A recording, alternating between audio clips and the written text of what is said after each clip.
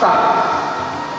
STIP ini bukan tempat berkumpul produk-produk yang hebat, tapi STIP itu adalah tempat kita memberikan uang, memberikan makan bagi mereka yang punya ide dan tapi nggak punya modal.